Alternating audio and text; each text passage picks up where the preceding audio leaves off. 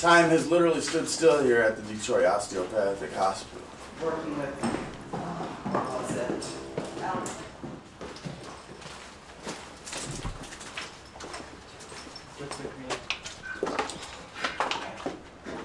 This city is 144 square miles, and there is thousands of abandoned buildings. You know, the school system's shot, the infrastructure's shot, everything's old and outdated, and we have no money, and we're in deficit, you know. In 1960, you know, the city had nearly 2 million people, you know, and then now we have 750,000 people. That's, that's, that's over a million people have left the city, and that's why we have the abandonment that we have, you know. It's, it's horrible.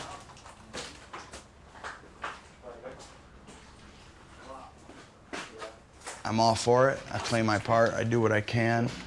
Um, but I'm just one person, you know, in a, in, in a city of eight, 750,000 people.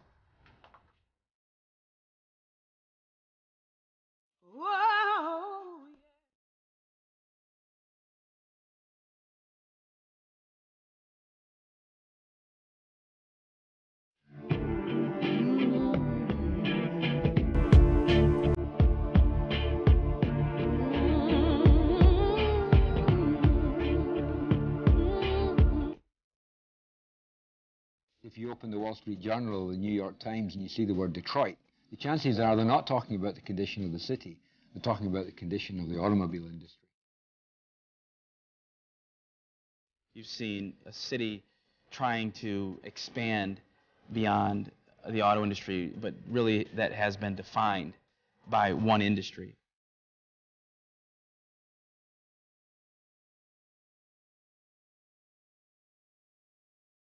The auto industry helped to make Detroit the national and international symbol of the miracles of mass production.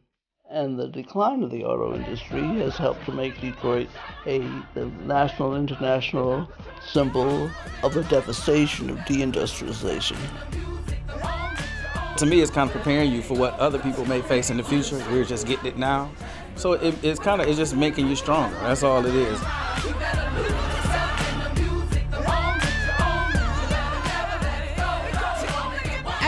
Has a love-hate relationship with the city. You love it, and at the same time, you hate it.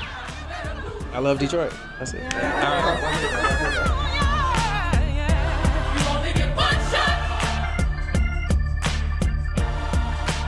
Welcome to Detroit, Michigan, historically known as the Paris of the Midwest, the arsenal of democracy, the Motor City, Motown, or sometimes just the D. The slogans and nicknames no longer seem to fit the harsh reality of this now bankrupt town. Presenting a much less glamorous view in autumn 2009, Time magazine had its own name for Detroit. The cover is the fruit of the hard work put in by two young French photographers. They've been coming here for several years. Like Bob in his hospital, all they can do is document the decline of a symbol which once seemed immortal. When we arrived in 2005, we discovered a town with a lot of abandoned buildings, office blocks, theatres, hotels. What interested us was the difference between what these structures, which were made to inspire dreams, to be visually impressive, were intended to convey and what they eventually became. Look at your mother. She's still staring at me. Well, who wouldn't stare at you? Tony, promise. What we're trying to do with this photo is to capture these places before they disappear. But yes, you have the feeling that the decline is somehow accelerating. In the United States, there is this consumerist tendency which leads people to dispose of buildings in the same way they dispose of products. This used to be one of Detroit's most impressive theaters, closed more than 20 years ago. The thieves and vandals have taken their toll.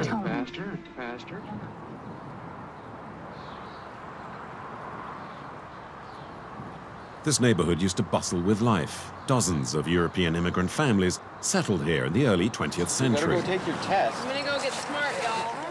We're collecting information about working class people here, the, the, the objects of their everyday life. And, you know, it sort of creates a more complete social history of Detroit. Detroit was founded by a Frenchman in 1701, but that's of interest to just a handful of archaeology students. There is so much to do on the biggest excavation site in industrial America. But it's got this patina, you can see. A lot of areas like this in Detroit today are abandoned, but or, or it, it, it serves as a park like this today, and you don't get a sense uh, standing here today of the once thriving neighborhood that existed here before the park. Since it shut in 1988, this huge train station has become one of the favorite hunting grounds for the town's amateur photographers. When I was first here was when it was still operational back in the late 60s. Uh, my mother, uh, my sister, and I came down to pick my grandfather up. He'd taken a train to uh, Washington, D.C., and so we came and came in through that door. And it was like walking into a cathedral. It's got that huge vaulted ceiling and but it was quite an experience when I was 10 years old or so. So when they couldn't find a use for the building after the train travel just, you know, completely fell apart in the, in the 70s, that was uh, closed down, it was kind of inevitable.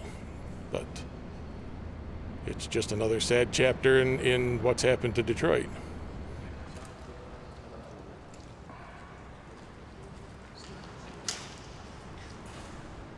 Detroit is so gorgeous. I mean, you, you drive through the city, you see the stonework, the masonry work, the, the architecture, just everywhere, every little nook and cranny. You just gotta look past the, the spray paint and the broken windows. They say that Detroit in its day was second only to Paris, and I can see why. You just look at the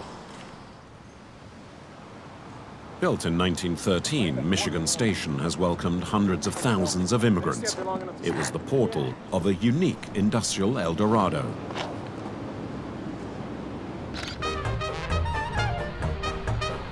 In the 1920s, 5,000 immigrants disembarked here every day. Detroit represented a new Babylon, an incarnation of excess.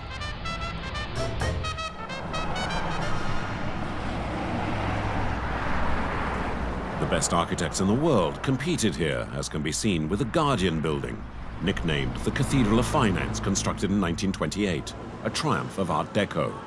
Luxury hotels multiplied, grandiose cinemas shot up from nowhere, and the city boasted more music halls than Broadway. Many would argue, as I have, that Detroit is the quintessential city of the 20th century.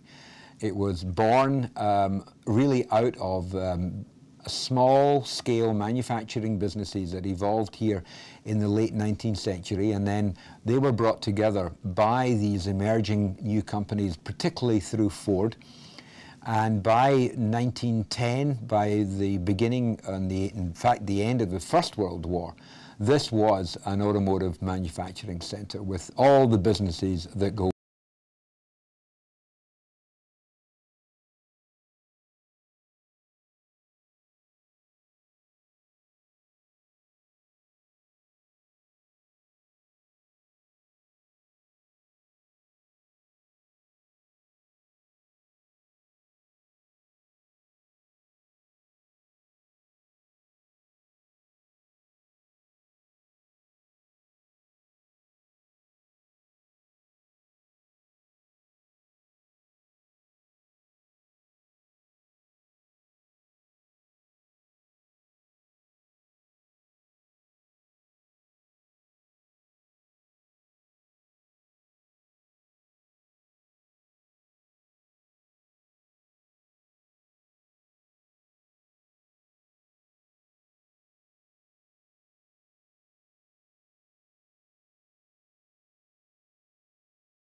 1930, Detroit grew to become the fourth largest town in the country, before the crisis of 29. Detroit has been in a state of decline in, in, some fashion or another, going back to the 1930s, if you will. I mean, we never fully recovered from the Depression. You can go, there are vacant buildings, vacant warehouses in this city that have been empty since the, the, the Depression. The stock exchange crash also resulted in the reduction of the number of car manufacturers. From 18 manufacturers, and after bankruptcies, mergers, and acquisitions, only three were left General Motors, Ford, and Chrysler, who became known as the Three Giants. It was a golden era of full employment for a triumphant America. in the 50s and 60s, Detroit was a place to be. My dad talked about coming in here and walking down Woodward Avenue, and outside every bar, there was a job recruiter with, on a, with a folding table taking applications for the factories. That's how competitive it was. He hopped from job to job. It was so competitive. During that golden age, Detroit was rebaptized Motor City. The population expanded as 200,000 more citizens, mostly African Americans, arrived, fleeing the destitution of the agricultural South. When I arrived here in the mid 50s, the population was 2 million, but they were already building freeways to go to the suburbs. That created depopulation, disinvestment, and all that sort of thing. They helped to destroy the city. It was also a time of difficult race relations in America. Many white people dreaded the so-called black invasion, as some refer to it. Subsequently, the whites began to move further out, taking with them their tax contributions and their businesses. The town soon spread over 300 square kilometers. Oh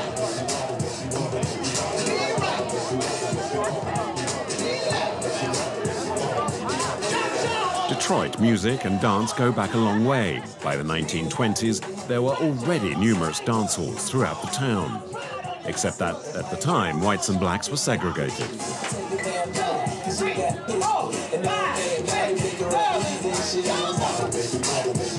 This separation lasted decades, exacerbating the pre-existing divide and mutual misunderstanding.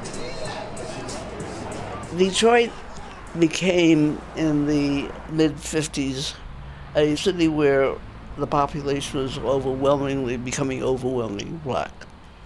And the city was at that time still run by whites. The city government, the schools, and that led to a, uh, a black power movement. And what the idea I think that blacks had at the time was that if we would have blacks in charge in accordance with uh, democratic procedures, that things would get better. But social divisions added to economic problems complicated matters. To reduce the costs of production and stop depending on the powerful automobile unions, the Big Three changed their strategy. The automobile companies were grounded here, but as they grew and they became multinational companies with in, in increasing interests not only in manufacturing overseas, but eventually, as today, selling overseas, um, the, although we are still the headquartered, uh, we, we, are still the home of the headquarters, a lot of the activities moved offshore. The change, though, brought with it the beginning of decline. Detroit lost 200,000 inhabitants between 1950 and 1960.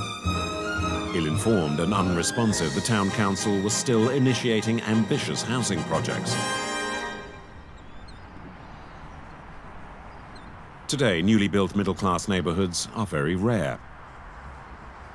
Those that remain have evocative road names, recalling the years of tranquility when a former Ford worker created the record shop Motown. Today, in the spot where the story began, there's a tiny museum, a pitiful reminder of what was, in appearance at least, a happy time in America.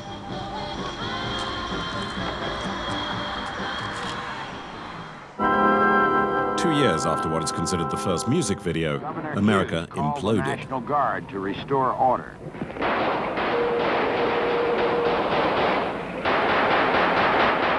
Later in, in July Detroit, 1967, racial dead. conflicts ignited the city. Hundreds Detroit was the scene of some of the worst rioting in American history. Between the destruction and random gunfire, the National Guard was called in as reinforcement. In five days of rioting, 43 people were killed, and in more than 300 cases of arson, dozens of businesses were looted or destroyed. Damage ran into several million dollars.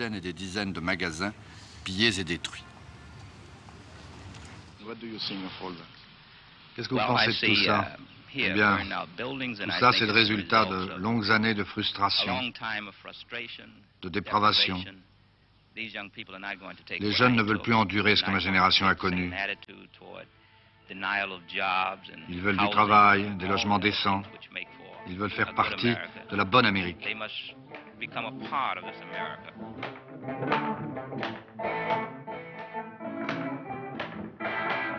45 years later, and there are some who believe the Motor City is still burning.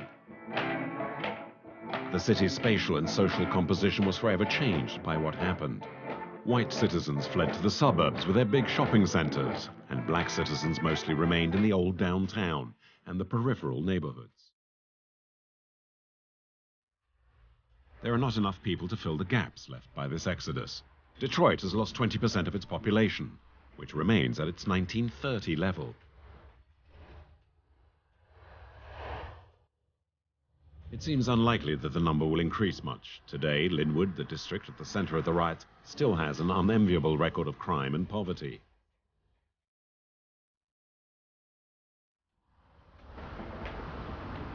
And yet, in the midst of this desolate urban landscape, a remarkable sight. Unlike humans, the fauna and flora are flourishing.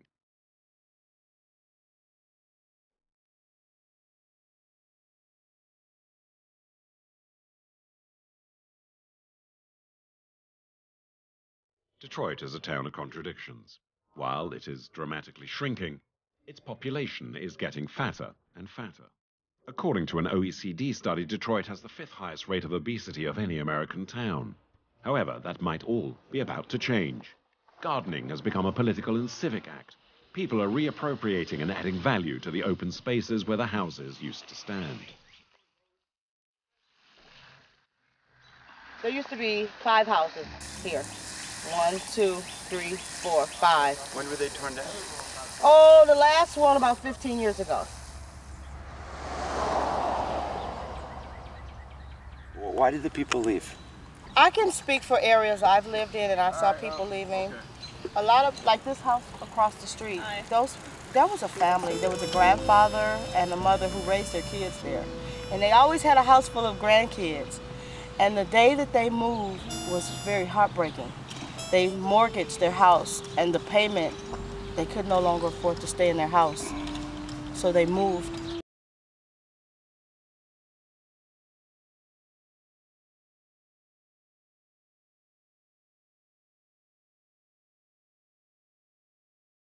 Lot of uh, weeds and grass and brush area that hadn't been tended to for years.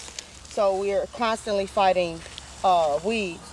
But these are spinach and they'll be harvested probably Tuesday or Wednesday morning for market. These are our lettuce mix. Myrtle, did you know how to do gardening before? Just a little bit. My grandmother, this is, my grandmother, um, I gardened with my grandmother as a young girl. Mm -hmm. That's her hat? That's just her hat. Mm -hmm. This was her dress-up hat, but for me it's my gardening hat. So Myrtle, are you doing this out of necessity or pleasure? Necessity, and now it's pleasure. It started as a necessity. Take the water back. Yeah. Concepted by my husband. Thank you. What I owe you? Nothing? Nothing. Great. The part that the economic or the market part of the garden plays is us trying to develop our own economic autonomy. And the community is something for all of us to eat from. Both gardens, they develop lines of communication, dialogue, um, all of these things which are needed so that we can determine our own destinies and how we survive. And plus, we eat good. We eat nutritional food that's good for us. Watering just the roots is very important. Tomatoes are fragile, they get the fungus on the leaves, and we save water by just watering the roots. Can you tell us about your plans for expansion? Um, across the street. Part of this land here is city owned, part of it's private owned. It's been vacant and we keep the grass cut, so we're going to liberate this land. Our main objective is to be a, a resource, a, a gap in that resource that's missing. We're meeting the need, we're fulfilling our family obligations, and we're participating in local economics. We're transforming uh, uh, young Detroiters, old Detroiters, from the inside out. You know, you are what you eat. You know, grow a garden, grow a community.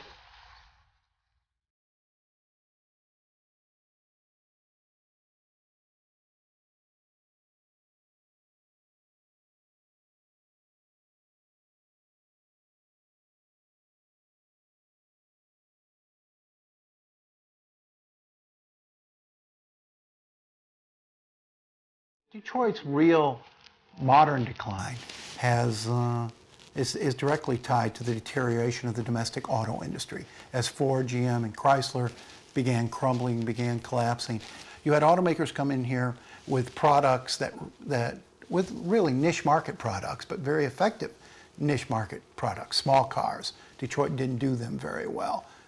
Those Japanese car makers did them very well. Luxury cars. Detroit sort of lost its luxury edge. The German car makers really excelled at luxuries. And the per vehicle cost for the big three was so much higher than that of their competitors that they couldn't price as well as perhaps they should have. It really accelerated the, the decline of Detroit. But there were so many other factors.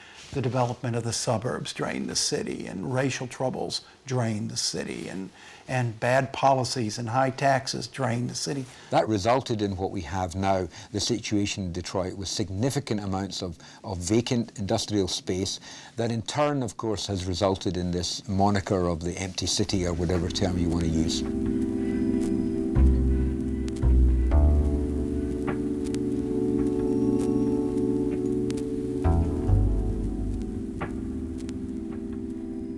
More denial that we have shrunk and that we're not coming back.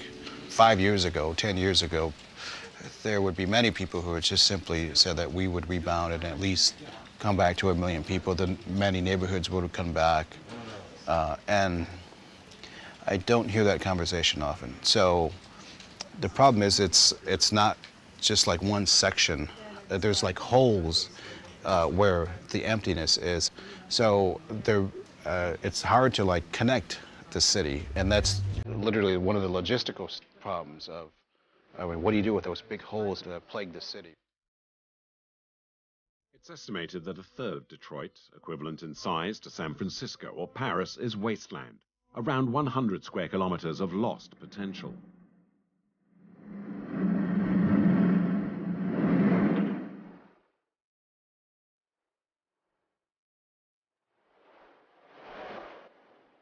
Town council is trying to wipe the slate clean.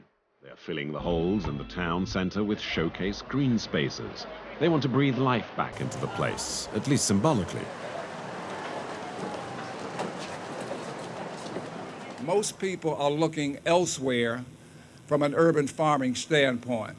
But as I drive around the city and I go into so many of our communities, so many of our neighborhoods, and see how many people are farming, uh, it's amazing. Based on models of French working-class gardens of the late 19th century, the numbers of spaces like these has been increasing over the last few years. There used to be a gas station located on half of this lot. Uh, it was fully remediated in 2000. Residents rent a plot for the year. Um, it's $25.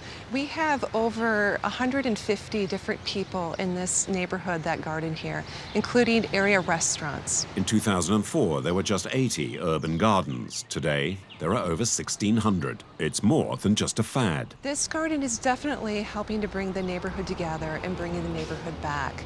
Um, since we built this garden three years ago, there's more development that's been happening in this neighborhood. And I think in part this garden was a catalyst for that development. Uh, we just uh, took over a play lot two parcels over that we're going to be developing into an eco park. What's interesting is seeing that people are moving back to Detroit from the suburbs. Our numbers have grown since the last census. Um, this neighborhood is a definite example of that.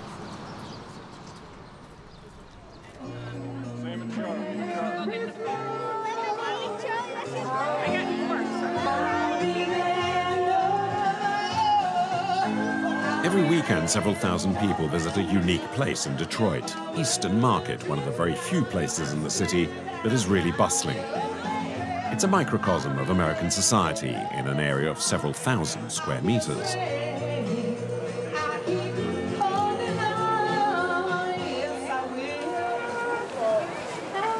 Producers, large and small, from all over the city come here to sell their wares.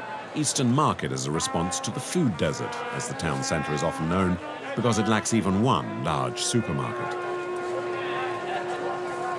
Eastern Market really is uh, the last, I think it's the last one of its kind left in North America. Nearly every major metropolitan area had an Eastern Market and an Eastern Market district. Uh, that's a local food hub.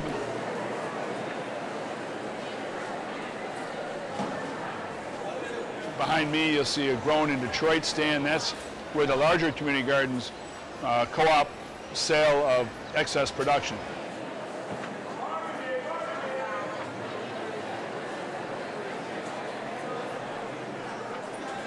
if we could peel back the over-centralized, over-processed American global food system and, and take back 20% market share, we could create about 5,000 jobs, we could create about $20 million in new state and local business taxes, and we could create about $125 million of new household income.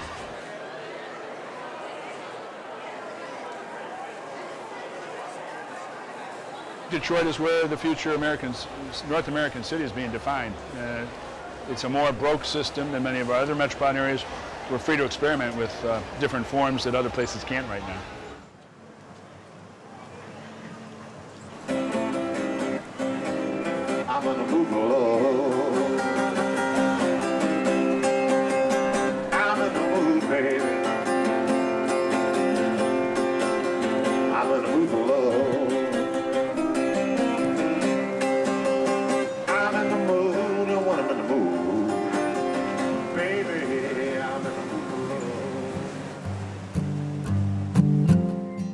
With its modern-day Towers of Babel, has been punished for its successes and then ostracized by the rest of the country.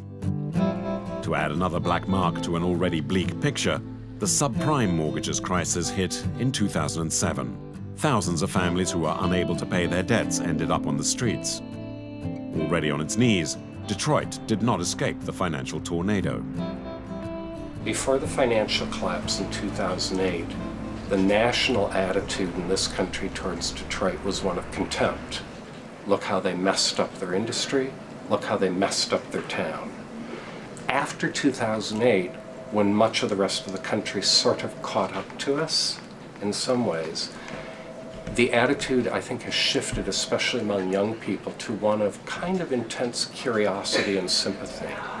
In some respects, with young people, I feel that we're as like this national treasure that needs to be saved.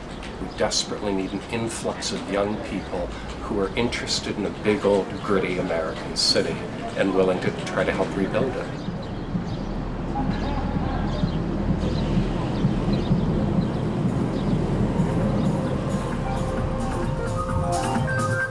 Three days this spring, 100,000 people from all over the world arrived for the annual Detroit Electronic Music Festival, beating all previous attendance records.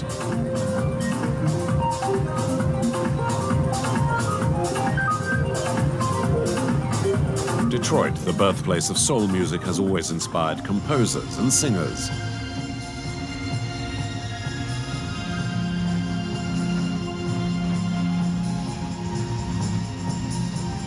Is here that techno music was born at the beginning of the 90s. Tonight, the audience is gathering to listen to Carl Craig, Detroit born and bred, and a techno pioneer. He's disappointed about what has happened to his city. I'm surprised that we haven't been able to parlay that into something fantastic by now. It's been 11, 11 episodes of the festival, and this, this city should have really grown quite a lot.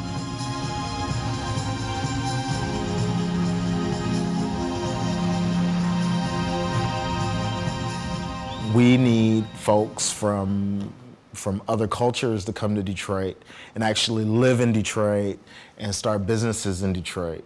But we actually need people in Detroit. Our neighborhoods have fallen apart. Um, we have uh, the possibility of buying houses for $100, $1,000, you know, $5,000 to have a house. You could buy a whole neighborhood, you know?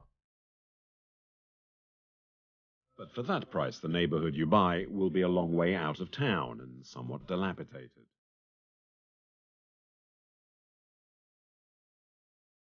Individual houses, blocks of apartments, warehouses, buildings constructed to endure the ravages of the weather, all sorts of styles and locations.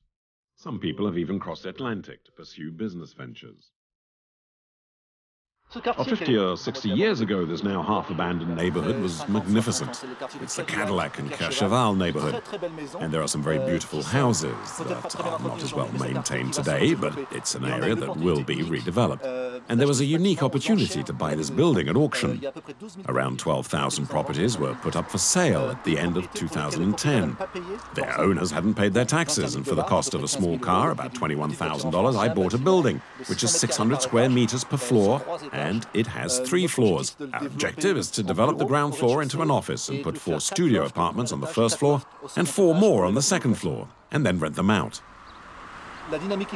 Dynamic real estate attracts investors, which will mean funds coming into Detroit. The money uh, we are going to spend here will enable tradesmen to redevelop this building, which will attract people to the area, and the businessmen in the surrounding area will also benefit from their custom. Oh, your neighbor. Oh, I'm sorry. Yeah. I'm, I'm Jerome.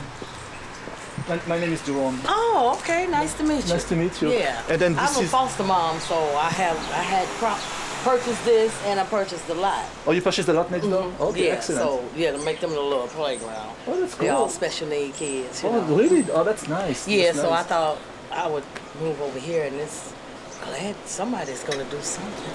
When did you move? I moved here in 07. In 07, so... Yeah, I haven't been here a long, long Yeah, you told me about But the- I was raised on the east side. Good. So it's gonna Yeah. be a nice playground for the kids. It's gonna be Yeah. awesome. It's gonna, it's gonna be nice for this. I like this neighborhood. It's really beautiful and It's quiet. You know, my neighbor um, called me and told me the church right behind there, they broke into it last night. Oh, the one behind over there. Behind, yeah. Yeah. That's, that's the problem. You know, the owner Yeah. of that told me this was broken into all the time. Oh, they the yeah, time. yeah. I've called the police plenty of times. They they just was all up in there. I'm like, they tearing that beautiful building because they said it was beautiful in there one time. Uh, Byron.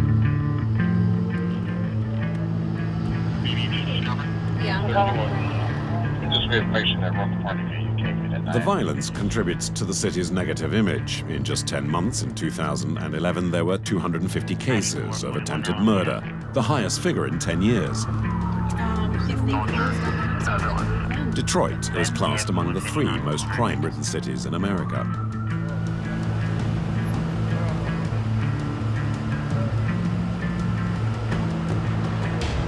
So let me ask you another crazy question like my other one. Does smoking weed violate your probation? so you really don't care much about your probation, huh? I do. What are you on probation for, Ace? I say receive it to say. Okay, so like a five-year felony that you could go to prison for five years. In lieu of prison, they A few minutes ago, a traffic stop for disregarding a red light turned into an arrest for possession of marijuana. And the officers became alert about the marijuana because of the smells of burnt marijuana. I'm just saying, I'm just telling you, I. I keep getting this. Detroit has earned a bad reputation because of the media. Granted, we are one of the higher capitals of homicides, but as far as everyday crime, breaking and entries, larcenies, burglaries, arson, rape, mm, shootings, it happens everywhere. I lived in the city of Detroit for 10 years, and I never once had a crime committed against me. And I lived right in the heart of it all.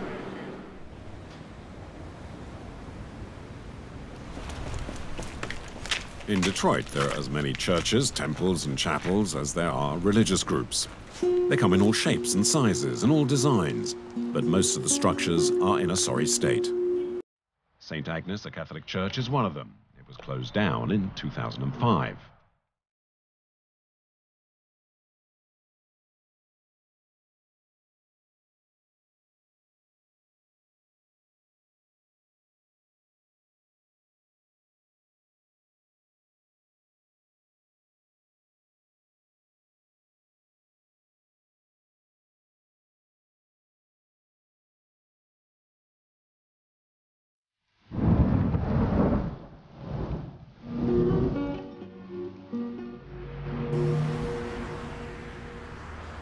Hundreds of other buildings suffered a similar fate, such as the once splendid Lee Plaza, a famous 1930s hotel.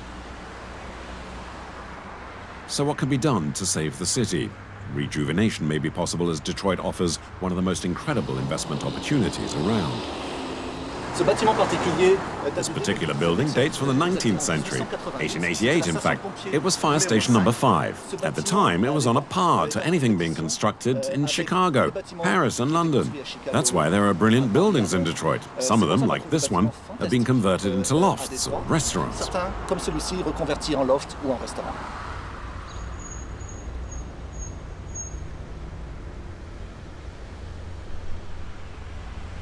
The Frenchman arrived 15 years ago, originally to work in the car industry, but has since changed direction. Jerome and his wife spotted the enormous housing market potential offered by the city. And he has found plenty of enthusiastic customers. One of the goals is to come back into, into the city. Um, and to, there's uh, areas uh, throughout the city that are being revitalized. Detroit's one with a, a storied history. Um, but it's been, the city itself and the people that reside here have always been very resilient. Uh, they've always made been able to make ends meet one way or the other. So my my faith in the city has never really wavered. Um, so I, am very positive for the future, I think. Detroit is a little bit too big for the population that it now has. And so its rebirth starts at the very center and grows outward. And that's a large um, movement of people coming back to Detroit, young professionals mostly, and they occupy those places. There is a buzz of excitement, although it's limited to downtown, the heart of Detroit. On the east side of the town, the atmosphere is far less glamorous and security much more precarious. But many people here compensate for that with close neighborly and community ties. No, no, no, no. Nostalgia is also evident, bringing back memories of long-lost past times. It was beautiful before. Like my neighbor, he been over here forever. So he been over here since he was a little boy. All this was beautiful. All this, you know, it was homes here, the apartment was.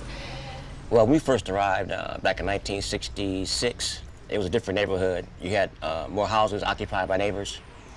But then over the years, it declined because people moved out and the vandals have taken over, and so it's declined in recent years. All I do is just pray because a lot of people have moved out of Detroit, but I'm not giving up on Detroit. I've been here since I was eight months old. Yeah, I'm staying. I get angry and say I want to leave. I'm not going nowhere. I'm not going to go nowhere. I'm going to stay right here, make the best of it. See, this, this is a community-based neighborhood. This neighborhood needs structure, help out with the development of our young, young people. There's nothing for young people to do. So after they go to school, and come home, there's nothing to do. So they're on the street, um, usually that creates a lot of, you know, violence and um, trouble because they have nothing to focus on except for just being outdoors and really no, no, um, no incentive to, to do the right thing. You know, education is very important.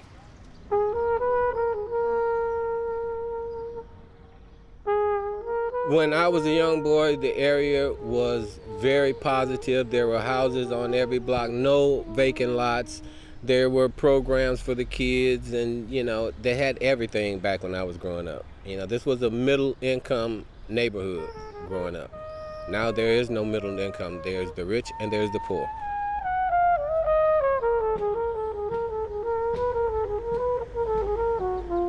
So many families in Detroit moved out of Detroit for the school system. So no, I mean, I wouldn't, it's hard to raise a family here in Detroit when you have young kids. School system is shot. And without a school system, you have nothing.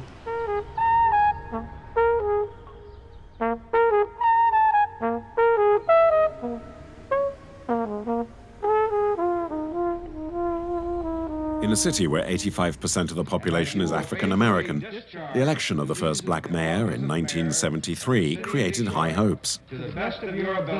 Coleman Young, a magistrate for almost 20 years, could not and did not know how to solve the overwhelming problems which were paralyzing the city. Not only did we find that just electing another person, and particularly a black person, did not solve questions, but blacks could not do any better than whites had done in terms of building the industry and developing the city, we get, began to be challenged to go beyond thinking of who was in charge and whom we elected and to begin doing things ourselves. And I think that's a miracle of Detroit.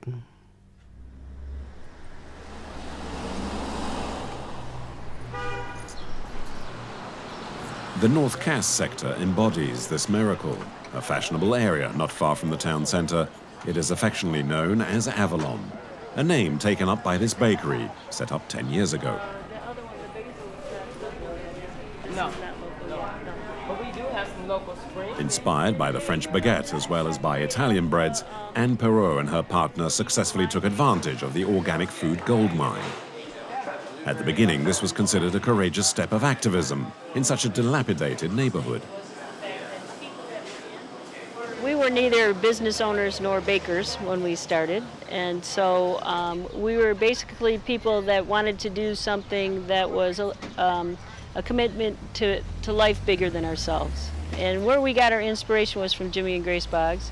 Jimmy had always talked about not depending on the auto company or the big companies to develop, but that it was little and small businesses uh, and to develop your own systems, and that way you could make a difference in the world. The winter before we opened, uh, there's a church a block south that had a tent city out like almost the whole winter where like almost 300 people a night were sleeping outside. So it was really, I, think the city and, and this neighborhood were really in crisis when we moved here, and everyone kept telling the same narrative that it couldn't be done, it couldn't be done, and we just we just didn't see that. The national chains and the big box stores never came here. They never saw the demographic to support their profit model, their profit margin. But what that does is it opens up a whole opportunity for small business people like us and like other people with no experience to come in and do it like the old fashioned way, like the way our grandparents, you know, and, and, and the immigrants of this country started businesses. There are a lot of people who live in the neighborhoods who've never been downtown. I mean, transportation's you know so bad and sort of the economic stratification is so bad that there are people who are really sort of paralyzed in these neighborhoods. The schools are not good, poverty rate's over 50%, and um, you know unemployment. I mean, we don't even know what unemployment is, but it's probably 30% or something like that. Really, poverty is a big issue. Access to um, healthy dynamics, you know, uh, support systems uh, we're definitely lacking that. I mean, we're almost a city that's collapsing on itself, you know. The, at the same time, it's a land of opportunity. We create a lot of things.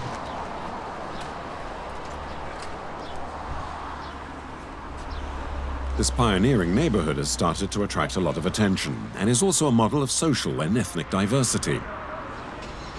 About 200 meters from the bakery, there is a hair salon, which is just as trendy and activist.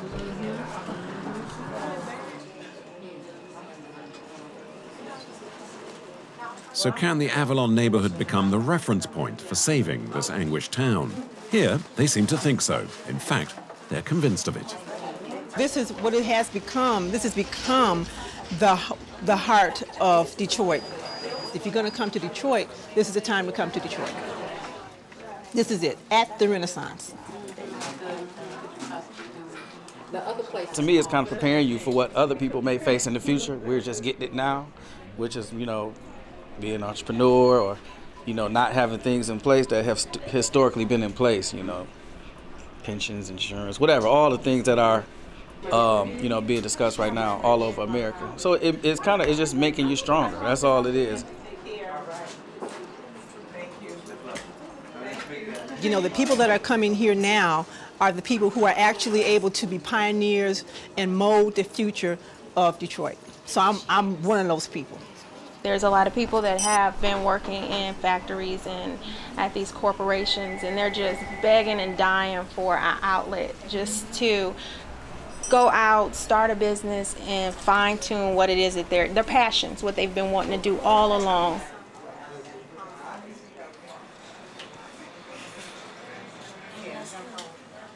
I would have never thought. I lived in New York for 10 years and came back that I would be making money doing natural hair care in Detroit.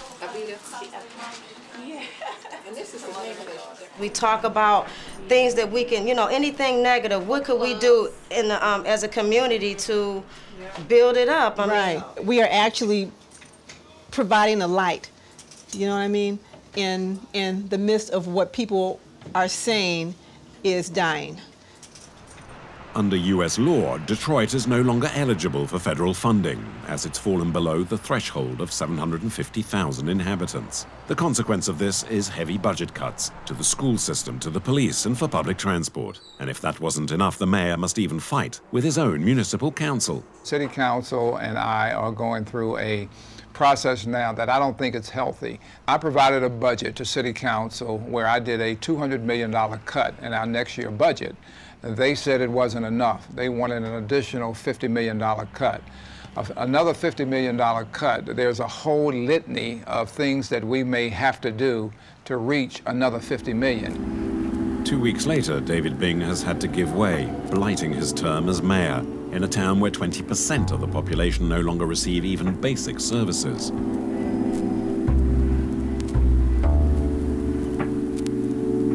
The three largest car manufacturers are coughing, it is really America that is sick. And in these last few years, the country has only been made sicker by the financial crisis of 2007 and the recession that followed. We were still near the bottom, a vicious recession, the worst that we've seen in our lifetimes. And ultimately, that recession cost 8 million jobs. And it hit this industry particularly hard. So in the year before I took office, this industry lost more than 400,000 jobs. In the span of a few months, one in five American auto workers got a pink slip. Ford has escaped the tidal wave thanks to its private funds. General Motors has been declared bankrupt, and Chrysler is about to go into voluntary liquidation. The choice is therefore simple for the Obama administration do nothing or put its hand in its pocket in order to save two national symbols of manufacturing. Il y avait toute une partie de l'opinion qui considérait que les There is a large section of the public that considers the subsidies already given by the Obama government, about $7 billion, to have been wasted money, as it was almost sucked into a bogus restructuring, which would never have worked. And so the American taxpayers' money would have disappeared alongside the definitive liquidation of Chrysler. In fact, the outcome was actually quite different. Today, all three auto, American automakers are gaining market share. That hasn't happened since 1995. And today, I'm proud to announce the government has been completely repaid for the investments we made under my watch by Chrysler because of the outstanding work that you guys did. Because of you. Tout le monde ici est conscient maintenant Everyone here is now aware that we have saved tens of thousands of jobs, euh, keeping the money at the same time with investments elsewhere. euh, People have to realize that we have 55,000 employees at Chrysler, most of who work here. I don't have a ratio, but let's say that three quarters are here in Detroit or around Detroit. And if you take into account all the posts that have been created, it's close to a million. So when you think about Detroit's population, it is really a city which would have probably ended up being wiped from the map without this kind of operation. Today, the sales of these three manufacturers are the highest they've been since 2005. An agreement was reached between the powerful automobile union and the three giants. It will oversee the creation of a total of 180,000 new jobs between now and 2015. Our commitment is to add 7,000 jobs here in the U.S. by the end of 2012. We've seen um, in, uh, about a $450 million investment, uh, at least, in our uh, plant in Wayne, Michigan, which isn't far from here. And, and that's a, a, a plant that's added you know, more than 1,000 people. I think the more important thing that we've seen is continuing to have an investment in American manufacturing. And Detroit has represented that for a long time. You know, this is our home. This is, this is what, you know, Dearborn, Michigan is the place where it all started. And, you know, this is still our headquarters. The Super Bowl final in February, the most watched televised event in the United States. And one advert is causing a sensation. Eminem, child and icon of Detroit, is promoting the latest model from one of the big three. The clip has been watched 30 million times. It's still a city very much in turmoil, very much trying to find its answer. Uh, I think the future uh, is bright, but it's not going to happen overnight. It will take a generation and more to, to make this place vital again. You dust off the gold and, and you you'll see it shine sometimes, but you know this is it, it has a lot of positive to it. You know, you just have to have the people to come together and bring it out in the city. We can only hope. this is the Motor City. This is what we do. It's been said that what is happening to Detroit will happen to the entire country over the next 10 to 20 years. Detroit may well turn out to be the precursor to a bigger problem, as there are currently around 100 towns in the United States which appear on the brink of collapse.